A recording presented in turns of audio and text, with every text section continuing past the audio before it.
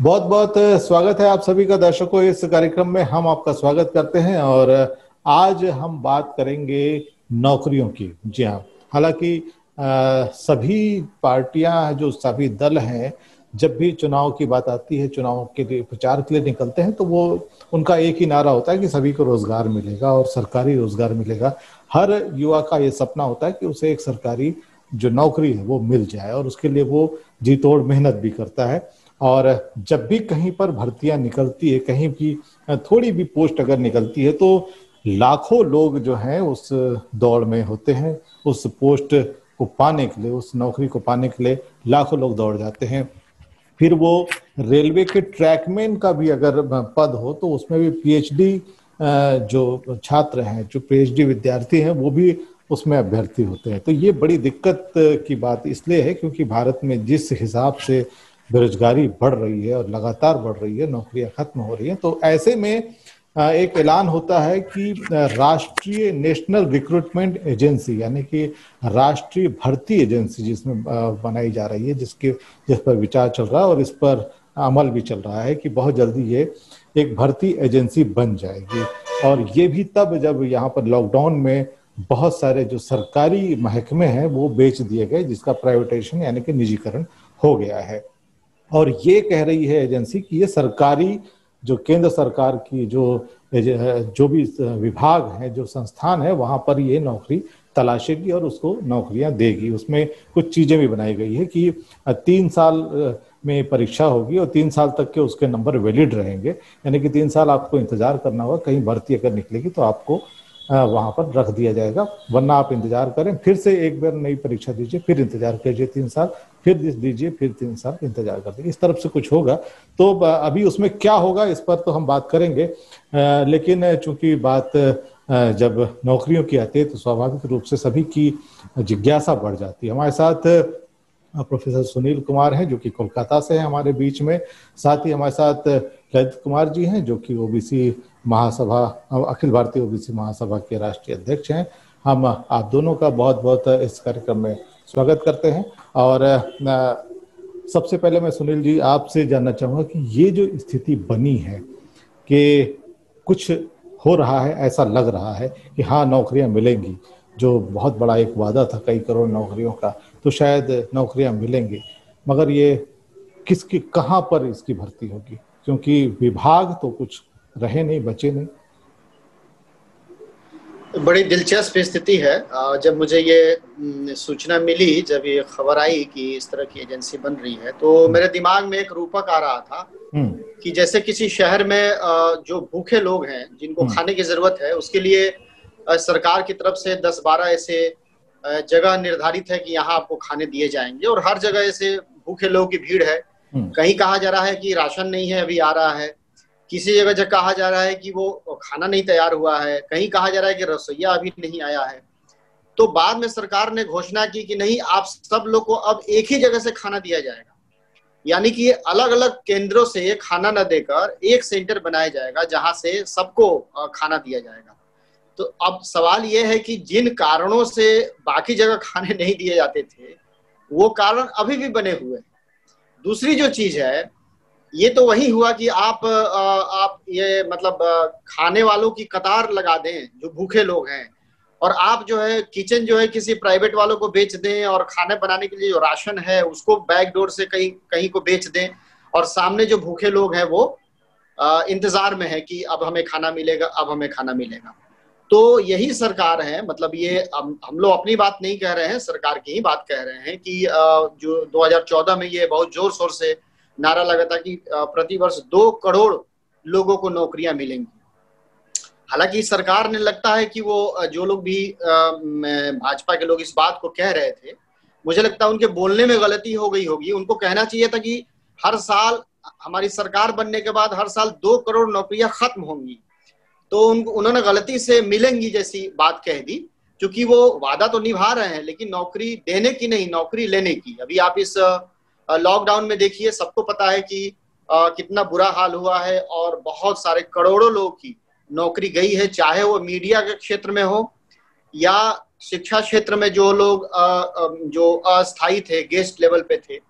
Higher education में भी हम देख रहे हैं कि अभी जो गेस्ट टीचर थे उनकी बहाली नहीं हो रही है। कई जगह टीचर्स ने आत्महत्याएँ की कुछ जगह टीचर की मैं इसलिए बात कर रहा हूँ क्योंकि समाज का एक बुद्धिजीवी तबका है एक महत्वपूर्ण तबका है जो बच्चों को तैयार करता है जो जो नई पीढ़ी को तैयार करता है वो सब्ज़ी बेचता नज़र आया और छोटे छोटे काम करता हुआ ये नज़र आया जी। तो एक तरफ़ जो ये घोषणा हो रही है हम्म। कि एक राष्ट्रीय भर्ती एजेंसी बनेगी और दूसरी तरफ़ तमाम सारे जो जो सरकारी संस्थान हैं उन्हें बहुत धड़ल्ले से ऐसे बेच रहे हैं हम्म। जैसे लगता है कि इन्हीं के पूर्वज ही उसको हम्म। यहाँ रख के गए थे कि बेटा तुम आना और एक एक करके बेच देना बेचने के लिए रखे गए। क्योंकि ये संस्थान खड़े करने में कितना समय लगा? आप सोचिए बीएसएनएल हो या एयर इंडिया हो या जिन भी संस्थाओं को एयरपोर्ट हो ये लोग बेच रहे हैं उनको खड़ा करने में उनको यहाँ तक लाने में कितने लोगों ने मेहनत की होगी? कितने कामगार लगे होंगे? कितने सारे लोगों के पसीने और कितने लोग की संलग्नता इसके साथ होगी?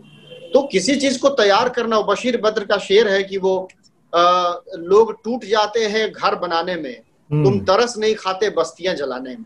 तो लोग लोगों ने इतनी मेहनत के साथ एक संस्थान खड़ा किया हम्म। और उसको कितनी आसानी से बेच रहे हैं लोग ठीक वैसे ही जैसे बाप दादों की संपत्ति को जो शराबी बच्चे हों वो हम्म। बेचते हैं। तो मैं किसी को शराबी तो नहीं कह रहा हूँ मुझे नहीं पता लोग शराबी हैं या नहीं लेकिन काम तो कुछ वैसा ही हो रहा है। तो फ़िलहाल मैं यही कहूँगा कि ये जो राष्ट्रीय भर्ती एजेंसी है ये सिवाय हाथी के दांत के और कुछ नहीं करने जा रही है हम्म। क्योंकि इनके पास इनपुट ही नहीं है इनके पास अंदर मटेरियल ही नहीं है राशन हम्म। ही नहीं है किचन ही नहीं है बनाने वाले नहीं है तो ये कहना कि हम खाना खिलाएँगे ये वैसी ही बात। बिल्कुल तो ये छलावा है। जी निश्चित रूप से छलावा है और एक शेर है कि पत्थर उबालती रही एक माँ तमाम रात। पत्थर उबालती रही एक माँ तमाम रात। बच्चे फरेब खाकर सो गए। तो मतलब ये स्थिति बनी हुई है। ललित जी बहुत बड़ा समाज है ओबीसी का। और अगर देखा जाए तो नौकरियों की जब भर्ती की बात होती है तो नाइन्टी परसेंट यही वो लोग होते हैं जो छोटी छोटी नौकरियों की तलाश में हमेशा लगे रहते हैं। हालाँकि बड़ी नौकरियों तक तो पहुँच ही नहीं पाते क्योंकि वहाँ तो बहुत सारा बहुत सारी छन्नियाँ लगी हुई हैं। तो ये जो छोटी नौकरियाँ जहाँ मिलती थी चाहे वो रेलवे हो चाहे वो तमाम वो छोटे छोटे संस्थान है वो तो अब है नहीं। अब ये राष्ट्रीय जो रिक्रूटमेंट एजेंसी है, इसको क्या शोकेश में कहीं रखना है, क्या करना है, इसकी पूजा करना है, या इसके भी उत्सव बनाने हैं, ऐसे ही दस दस दिन तक के स्थापना करके, क्या करेंगे? देखिए, ऐसा है, सबसे पहले तो मैं आपके इस कार्यक्रम के लिए आपको बहुत बहुत बधाई और शुभकामनाएँ देता हूँ कि आप निरंतर एक ऐसी स्थिति में, ऐसे समय में, जबकि पूरी तरह से समाज के ऊपर देश के ऊपर नौकरियों के ऊपर प्रतिनिधित्व के ऊपर लोकतंत्र के ऊपर संविधान के ऊपर हम्म। संकट है इस देश के मूल्यवासियों के ऊपर संकट है हम्म। ऐसे समय में आप यहाँ पे इन सब बातों को लेके चर्चा कर रहे हैं समाज को जगाने का प्रयास कर रहे हैं साधुवाद के पात्र हैं दूसरा जहाँ तक नौकरियों का मामला है तो जैसे अभी अभी कुछ ही समय पहले की बात है कि इन्होंने संयुक्त सेक्रेटरी लेवल पे एडिशनल सेक्रेटरी लेवल पे इन्होंने लेटरल इंट्री भर्तियाँ शुरू कर दी हम्म। कि जिन्होंने कोई आईएएस का एग्ज़ाम नहीं दिया कुछ नहीं दिया और उन लोगों को डायरेक्ट संयुक्त सचिव बनाने का काम इन लोगों ने कर दिया ऐसे नौ लोगों को बनाया और उन नौ लोगों में भी अगर देखा जाए तो वहाँ कोई आरक्षण नियम का पालन नहीं था वहाँ कोई जिस समाज से हम लोग जिनके न्याय के लिए हक अधिकार के लिए हम लोग लड़ते हैं उनका कहीं कोई प्रतिनिधित्व तो वहाँ पर था नहीं। और दूसरा एक तो ये है कि नियम कानून को दरकिनार करके भर्तियाँ चालू है। दूसरी तरफ़ जैसे अभी हमारे साथी सुनील जी बता रहे थे कि आप नौकरी दोगे कहाँ? जब नौकरियाँ रहेंगी सरकारी संस्थान रहेंगे नहीं तो नौकरियाँ किसको दोगे? ये तो सिर्फ़ ये है कि सरकारी संस्थाओं को बेचने के बाद एक समाज के अंदर जो क्रोध और जो गुस्सा और जो असंतुष्टि पैदा हुई है कहीं ना कहीं उस असंतुष्टि को एक एक मैनेज करने का काम है कि देखो हम नौकरी देने के लिए एक अलग से एजेंसी बना रहे हैं। तो वो हम लोगों को कुल मिला किस देश के जो आरक्षित समाज है, उस समाज को पागल बनाने का काम है और जब पहली बार इस आरक्षित समाज को सबसे पहले 1835 में अंग्रेज़ी शासन काल में नौकरी मिलना शुरू हुई थी विधिवत। रजिस्टर्ड नौकरी जो मिलने का काम इस आरक्षित समाज को जो शुरू हुआ था वो अंग्रेज़ी शासनकाल में अठारह सौ पैंतीस से शुरू हुआ था। तो अंग्रेज़ों ने चाहे नौकरी देने का काम हो, चाहे शिक्षा देने का काम हो, चाहे संपत्ति रखने का अधिकार हो, चाहे देवदासी प्रथा पर प्रतिबंध हो, चाहे शुद्धिकरण प्रथा पर प्रतिबंध हो, तमाम तरह के जो कानून बनाए थे, इन कानूनों से वही लोग उस समय परेशान थे जिनकी आज सरकारें चल रही है। तो वो अंग्रेज़ों के एक तरफ़ कानून बन रहे थे, ये अंग्रेज़ों के गुस्सेदार बनते जा रहे थे, नाराज़ होते जा रहे थे, और अंत में अठारह के बाद तो इनकी नाराज़गी का कोई सीमा नहीं रही और इन्होंने अंग्रेज़ों के खिलाफ आंदोलन चलाया, अंग्रेज़ों को भगाया और अंग्रेज़ों को भगाने के बाद अंग्रेज़ों के समर्थन से और बाबा साहब अंबेडकर साहू जी महाराज के समर्थन से जो संविधान बना, अब धीरे धीरे करके उस संविधान को एक एक पन्ना फाड़ने में लगे हैं और अंग्रेज़ी शासन काल में और लोकतंत्र में और संवैधानिक अधिकार जो हम लोगों को मिले, जिसमें नौकरी का भी एक अधिकार था, अब धीरे धीरे उन अधिकारों को डिजॉल्व करने का काम इस देश में बड़ी तेज़ी से चल रहा है हाँ। तो ये सिर्फ़ हाथी के दांत दिखाने के हैं हाँ। कुछ ज़मीन पे कुछ होने वाला नहीं है सिवाय बर्बादी बर्बादी के सिवाय बर्बादी के कुछ होने वाला नहीं है लेकिन एक तरफ़ यहाँ पर इस बात का उल्लेख करना भी ज़रूरी है कि बहुत सारी भर्तियाँ जो अभी हाल ही में हुई निकली थी कुछ समय पहले कुछ इलेक्शन से पहले और कुछ इस बीच इस दौरान कोरोना से पहले वो सारी जो भर्तियों की जो विज्ञापन थे, वो निकले, लोगों ने फॉर्म भरा, बहुत सारे पैसे भी लोगों ने भेजे। उसके बाद कुछ लोगों की परीक्षाएँ हुई। कई लोग दो तीन सालों से उन परीक्षाओं के रिज़ल्ट का इंतज़ार कर रहे हैं। कुछ लोग जो है, उन रिज़ल्ट के बाद नियुक्तियों का इंतज़ार कर रहे हैं। कुछ जो परीक्षाएँ हुई थी, वो रद्द हो गई। कुछ जो है विज्ञापन निकले, वो भी वापस ले लिए गए। ये सब कुछ भी है और साथ में ये नाटकबाजी। तो ये मुझे बताएँ कि ये नाटकबाजी जो है ये आखिर कब तक हमारे लोगों के समझ में नहीं आएगी? या लोग अभी भी आ, मोर नाचा और तमाम टाइप की चीज़ें देखते रहेंगे? मतलब मज़ा आ रहा है लोगों को। क्या कहेंगे सुनील जी? जी बिल्कुल सही आपने कहा और वही मैं बात कहने वाला था कि पिछले कई वर्षों में जितनी भर्तियाँ निकली। जैसे आप उत्तर प्रदेश को देख लें हम्म। तो उत्तर प्रदेश में जितनी बड़ी बड़ी बातें की जाए हम्म। लेकिन सच्चाई यही है कि वहाँ कोई भी एक तो नौकरियाँ नहीं आती है नौकरी आती है परीक्षा होती है तो स्टे लग जाता है। ये यूपी के साथ खास तौर से बात है कि कोई भी वहाँ रिज़ल्ट अभी जैसे हाल में टीचर्स की भर्ती का था तो एक खुशी नौजवानों में आई जिनका सिलेक्शन हुआ था लेकिन फिर स्टे लग गया। तो एक तो पहले पूरी भर्ती प्रक्रिया है पैसे तो ये लोग ले लेते हैं लेकिन पूरा जो प्रोसेस है इनका सिलेक्शन का ये बहुत दोषपूर्ण है। जैसे क्वेश्चन आउट होना ही बहुत सामान्य बात है चाहे बिहार की परीक्षा हो या यूपी की या अब तो बड़े बड़े बड़ी बड़ी परीक्षाओं के प्रश्न पत्र आउट हुए हैं पिछले इसी सरकार में खासतौर से। जी। तो ये पूरा का पूरा मज़ाक बना के रखा गया है नौजवानों के लिए कि पूरा जो भर्ती प्रक्रिया है उसको ही इतना दोषपूर्ण बनाते हैं। हम्म। उसमें ही इतनी कमियाँ होती हैं कि उलझ के रह जाता है नौजवान या बेरोजगार उसमें। दूसरी चीज़ है कि जिन लोगों की परीक्षाएँ हो गई हैं हम सब देख चुके हैं कि रवीश कुमार की जो नौकरी सीरीज़ थी उसमें इस तरह की कितनी घटनाएँ आई कितने तरह के और दिलचस्प ये भी है कि जो नौजवान है जो ये चाहते हैं कि मुझे नौकरी मिल जाए मुझे नियुक्ति पत्र मिल जाए लेकिन लेकिन रोज़गार के सवाल पे बेरोजगारी के सवाल पे वो नौजवान कुछ बोलना नहीं चाहते यानी कि उनको दूसरे के रोज़गार से कुछ लेना देना नहीं हम्म। तो ये पिछले आठ दस साल में इस तरह का मानस तैयार हुआ इस तरह की मेंटालिटी बनी है नौजवानों की कि किसी गलत के खिलाफ ना बोलो। अपना बस भला सोचो कि हम हमें रास्ता मिल जाए लेकिन हम्म। जो सड़क पे इतनी जाम लगी हुई है ये जाम जो इतना लगा हुआ किन किन कारणों से लगा उसको दूर करें क्योंकि दूसरे यात्रियों को दिक्कत ना हो। नहीं मुझे रास्ता चाहिए मैं आगे निकल जाऊँ बाकी जो जाम है वैसे ही पड़ा है। तो ये ये देश में जिस तरह की मानसिकता वो नौजवान जिनको नौकरी चाहिए जिनके लिए भयानक समय आगे आने वाला है। इसे बहुत सारे बहुजन समाज के नौजवान भी है जो अपनी ऊर्जा बर्बाद कर रहे हैं। व्हाट्सएप में ऊर्जा बर्बाद कर रहे हैं अनर्गल चीज़ों में ऊर्जा। अभी जैसे ये राम मंदिर की जो बात है जो दिया जलाने की बात है तो बहुत सारे भयानक संख्या में जो शूद्र वर्ग के ओबीसी लोग हैं और दलित लोग हैं जो गुलाम लोग हैं कुछ आदिवासी लोग भी इन लोगों ने भी दिए जलाए तो मुझे तो लग रहा है ये अपना दिए नहीं अपने ये घर जला रहे हैं हम्म। अपने भविष्य को जला रहे हैं वो जो है वो जो ये मंदिर और ये सारी जो चीज़ें हैं हम्म। ये ठीक है किसी का धर्म स्थल है उससे हमें कोई लेना देना नहीं हम उनका सम्मान करते हैं हम्म। लेकिन बहुजन समाज के लिए इसकी क्या ज़रूरत है बहुजन समाज के लिए तो संविधान है वही जो सब कुछ है पढ़ाई लिखाई सब कुछ है रोज़गार सब कुछ है।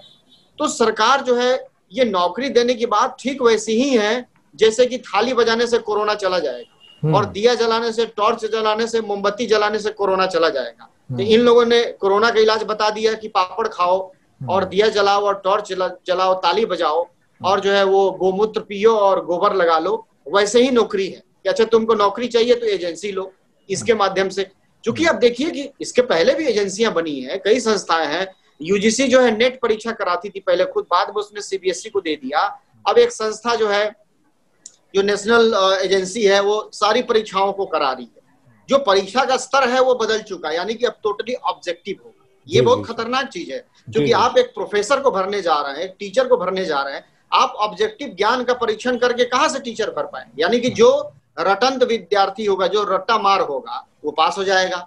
तो वहाँ तो उसको पढ़ाना है भाई वहाँ तो विश्लेषण करना है वहाँ तो उसको एक बौद्धिकता देनी है बच्चों के अंदर। लेकिन वो तो रट के आया है। तो इतने सारे दोषपूर्ण इनका जो है सारा सारे दोषपूर्ण इतनी इनकी व्यवस्था है। मैं इस बात को रेखांकित करना चाहता हूँ। ऐसी सरकार से ऐसी समझदारी वाले लोग से कैसे हम अपेक्षा कर सकते हैं? मैं तो ये मैं तो ये समझता हूँ कि ये सब कुछ जानबूझ के लोग करते हैं। क्योंकि ये खुद ही चाहते हैं लोग कि कोई वैज्ञानिक चेतना तार्किक चेतना कोई बौद्धिकता का प्रसार प्रचार शिक्षा के माध्यम से खासकर हायर एजुकेशन के माध्यम से नौजवानों में न होने पाए। यानी बौद्धिकता नहीं होगी तार्किकता नहीं होगी और उनके पास बुद्धि और विवेक नहीं होगा। तो ज़ाहिर है हाँ। सही गलत का निर्णय नहीं कर पाएँगे तो सरकार जितना भी गलत करेगी कहीं कोई विद्रोह नहीं हो कहीं कोई विरोध नहीं होगा कहीं कोई प्रतिरोध नहीं होगा और सरकार तमाम सारे गलत काम करती रहेगी। और एक दिन संविधान को भी जो है वो नेस्तनाबूद करने जो उसका उसकी मंशा है उसमें सफल हो जाएगी। वो तो हो ये तो खतरनाक बात है। जी जी जी वाकई वाकई। और देखा जाए ललित जी तो आप तो समाज में जाते हैं और देख रहे हैं कि बहुत बड़ा समाज है ओबीसी का। और ओबीसी के ही बच्चे होते हैं जो कांवड़ लेकर जाते हैं। ओबीसी के ही बच्चे होते हैं जो बड़ी संख्या में टॉर्च जलाते हैं। ओबीसी के ही बच्चे होते हैं जो बहुत बड़ी संख्या में जो जो है कि राम मंदिर के लिए ट्वीट करते हैं या लिखते हैं व्हाट्सएप पे तमाम सारी चीज़ें। ये सब ठीक है। अपनी जगह पे ये सब कुछ करते रहें। उससे किसी को गुरेज भी नहीं है। लेकिन नौकरियों के लिए आवाज़ें बच्चों की ओर से उठती नहीं है। तो क्या आपको लगता है कि ओबीसी समाज को नौकरियों की ज़रूरत नहीं है? नहीं ऐसा नहीं है। मेसराम साहब नौकरियों की ज़रूरत तो है। हम्म। पर अभी तक जो मैंने देखा है मैं पिछले पाँच साल से वैसे तो मिशन में बाईस साल से काम कर रहा हूँ। हम्म। पर अभी पिछले पाँच साल से संगठन बना के जो काम किया और मैंने जो देखा है हम्म, मैंने एक चीज़ ये देखी है कि विशेष रूप से हालाँकि काम तो मैं पूरे बहुजन समाज के लिए करता हूँ पर विशेष रूप से मैंने ओबीसी समाज पे ज़्यादा फोकस किया क्योंकि ज़्यादा जागरूक जागृत करने की ज़रूरत ओबीसी को थी जी। ऐसा मैंने महसूस किया इसलिए ओबीसी पे ज़्यादा फोकस किया ओबीसी के नाम का संगठन बनाया हम्म। और मैंने ये देखा कि ओबीसी के लोगों के बीच में दिक्कत ये है कि उसके कानों में जो बात अभी तक जितने भी संगठन है जितनी भी संस्थाएँ और जितने व्यक्ति उस तक चाहे मीडिया के माध्यम से हो चाहे फ़िज़िकल माध्यम से हो चाहे किसी संगोष्ठी के माध्यम से हो चाहे किसी धार्मिक आयोजनों के माध्यम से हो उसके कानों में जो आवाज़ जाती है जो बातें जाती है जो विचार जाते हैं तो वो वो जो है ना वो पिछले लगभग साढ़े चार हज़ार वर्ष से जा रहे हैं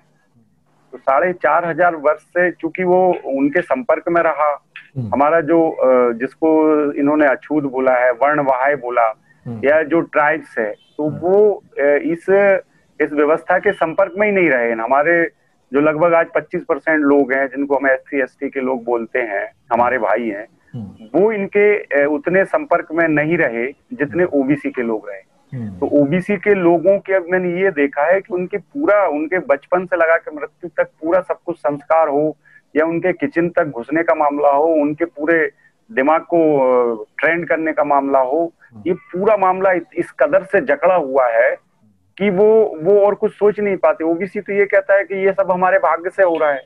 जो कुछ होए राम रचिरा का, को कहीं तर्क बड़ा, वहीं का हानि, लाभ, जीवन, मरण, जस, अप, जस, विधि, हाथ।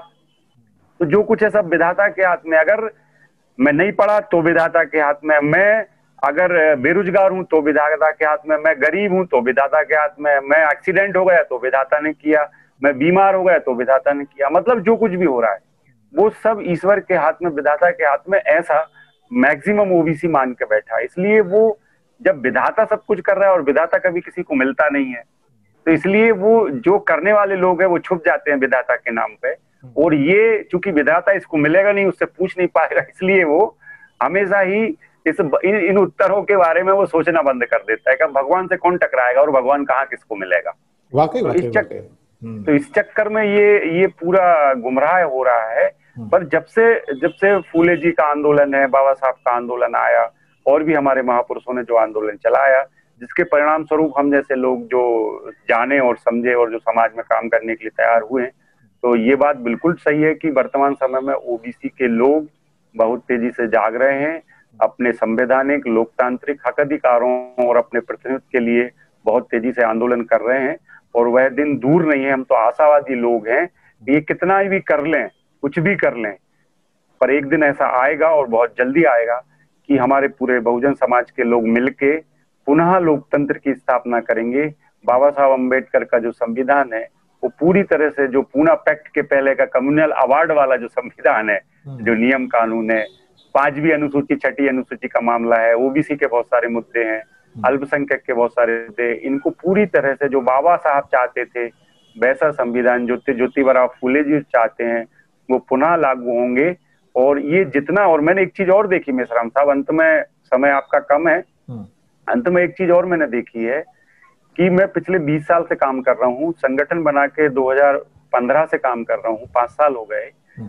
अभी जो ओबीसी की जागृति जो है ना सबसे ज़्यादा जागृति कब आई है पता है आपको हम्म। ये ये जो मोदी जी की जो गवर्नमेंट आई है और अभी जो इन्होंने जो तानाशाही जो रूप अपनाया है हम्म। और जो निजीकरण कर रहे हैं लेटरल एंट्री कर रहे हैं ओबीसी के क्रिमिलेयर का मामला हो ओबीसी के रिजर्वेशन का मामला हो किसानों के मामले हो हम्म। उनके ओबीसी के साथ अन्याय अत्याचार के मामले हो उत्पीड़न के मामले हो हम्म। ये बहुत ज़्यादा अभी पिछले दो तीन साल में बढ़ा है तो हम्म। मैंने एक देखा है कि जो पिछले अठारह साल में जो जागृति हम लोगों के काम से नहीं आई वो अगली दो तीन साल में आ गई तो ये ये कि बहुत तेज़ी से जागृति का एक कारण भी बने हैं और मैं तो ये चाहता हूँ कि बस ऐसे ही कुछ करते रहे और जल्दी से समाज सब जागृत हो जाए और दोबारा से फिर हम लोग अपने हिसाब से सब लागू कर दें ऐसा समय बहुत नज़दीक वाकई वाकई यानी कि जब तक के दर्द नहीं होगा तो इलाज भी ढूंढना जरा मुश्किल होगा। तो ये वाकई सुनील जी मंडल जी का जन्मदिन है और ये जो उनकी जो सपना था उनकी जो सिफारिशें थी वो तो कहीं दिखती नहीं है। जो था, वो भी एक तरह से नहीं मिल रहा है। ऐसी स्थिति में क्या आपको लगता है कि ये जो चूँकि सारा जो रिजर्वेशन तो एक तरह से सुप्तावस्था में चला गया है, खत्म ही हो गया है तो ऐसी स्थिति में युवाओं के लिए आपका क्या संदेश होगा? सुनील जी, युवाओं के लिए, क्योंकि अभी अभी उन्हीं की सब कुछ, उन्हीं के लिए सब कुछ है। देखिए ये जो ललित जी ने कहा वो मैं इससे सहमत हूँ कि हाल के वर्षों में हम्म। इस सरकार के आने के बाद भी खास तौर से सोशल मीडिया के माध्यम से फेसबुक हम्म। वगैरह माध्यम से हम्म। ओबीसी नौजवानों में भी चेतना आ रही है। बहुत सारे लोग अभी सचेत नहीं है लेकिन ओबीसी के लोग आ गए सबसे बड़ी चीज़ को बाबा साहब को अपना रहे हैं। चेतना को मैं वहीं से जोड़ता हूँ। इस देश का कोई भी वंचित समाज जब तक बाबा साहब को नहीं पढ़ेगा जानेगा क्योंकि बाबा साहब की ही लड़ाई सबसे ज़्यादा इस व्यवस्था से थी। और बाबा साहब की बात कर रहा हूँ तो उसके पीछे जो पूरे महापुरुष है वो सब किसी न किसी रूप में समाहित है। तो इसलिए जो भी वंचित तबका है चाहे वो स्त्रियाँ हो चाहे वो आदिवासी समाज हो चाहे ओबीसी समाज हो हम्म। या अल्पसंख्यक समाज हो उसको हम्म। बाबा साहब को जानना समझना पड़ेगा अपने आंदोलन के लिए। हम्म। तो ओबीसी की जो युवा पीढ़ी है उसमें लोग लड़के जो है तेज़ी से जुड़ रहे हैं लड़के लड़कियाँ बाबा साहब से। एक जो है सकारात्मक चीज़ है।